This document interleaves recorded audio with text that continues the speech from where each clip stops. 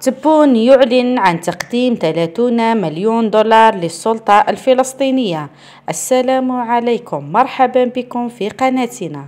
إذا قرر رئيس الجمهورية السيد عبد المجيد تبون منح مساهمة مالية بقيمة 30 مليون دولار للمساعدة في إعادة إعمار مدينة جنين الفلسطينية. وذلك على إثر الاعتداء الهجمي الإجرامي الذي شنته قوات الاحتلال الإسرائيلي على مدينة جنين ومخيمها في الضفة الغربية.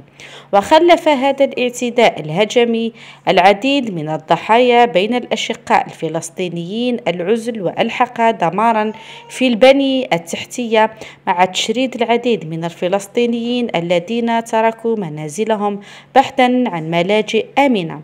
وأعربت الجزائر حسب رئاسة الجمهورية مجددا عن تضامنها الدائم مع نضال الشعب الفلسطيني القابع تحت الاحتلال الإسرائيلي ومطالبته بحقوقه الوطنية المشروعة وعلى رأسها إقامة دولته المستقلة وعاصمتها القدس الشريف. إذا أعجبكم الفيديو وأردتم المزيد لا تبخلوا علينا بالضغط على زر الإعجاب.